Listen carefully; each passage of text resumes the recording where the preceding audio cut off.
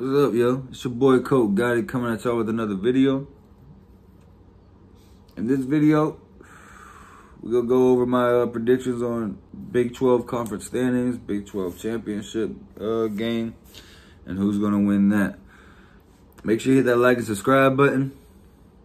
I got ACC coming up, then the Big 10, then the SEC, Pac 12, you know, shit's coming. so, Number one in the Big 12, Oklahoma, of course, 12 and 0 throughout the season, 9 and 0 throughout the conference. Number two would end up being Texas. I got them going 9 and 3 through the season, 7 and 2 through the conference with a tiebreaker for conference play against Iowa State. Puts Iowa State in third. 10 and 2 throughout the regular season, 7 and 2 throughout the conference. Then we got Oklahoma State, who goes 9 and 3 six and three in conference play. Then we got West Virginia at fifth, who goes seven and five, six and three throughout conference play. Then we got Kansas State, who goes five and seven, with three and eight, uh, three and six throughout conference play. then we got TCU, goes four and eight, three and six throughout conference play. And then number eight, we got Texas Tech that goes five and seven, but they're two and seven throughout conference play.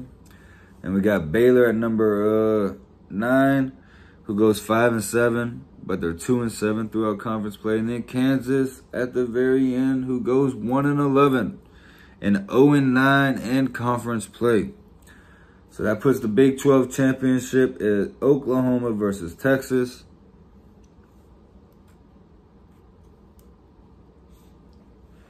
What side you got Oklahoma? Strong, powerful, loaded, undefeated coming into the game, knowing if they win it, they're probably going to be a one or two seed. And they'll definitely already be feeling the the truth that they're going to compete for a title that this season. And you got Texas, who, even with the new coach, the new starting quarterback, and all that, they end up being nine and three.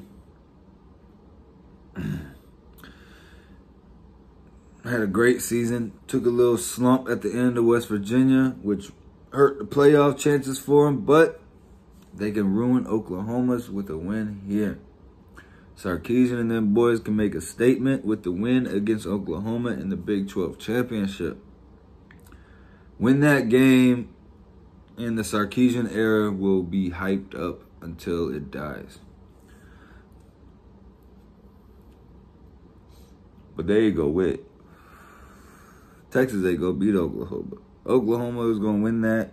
They're gonna move on to the playoffs, being a one or two seed more than likely. I don't see how if they're undefeated, thirteen and zero, oh, there's gonna be two teams ranked higher than them. So I got them going thirteen and zero, making the playoffs as the one or two seed, and I don't care who they play in the playoffs. They're going to compete. If they don't win the playoff game, it's not going to be a blowout like almost every other playoff game for Oklahoma has been. They're going to compete in that game. It's going to be a real game, and it's going to come down to four quarters. It ain't going to be over with in the first or the second quarter. Oklahoma's competing this year, for real. But make sure you hit that like and subscribe button, yo. I got the ACC that I'm going to hit next. Move on to the Big Ten, Pac-12, SEC. Get all these shits out before the season kicks off. It's your boy Colt Gotti, and I'm out.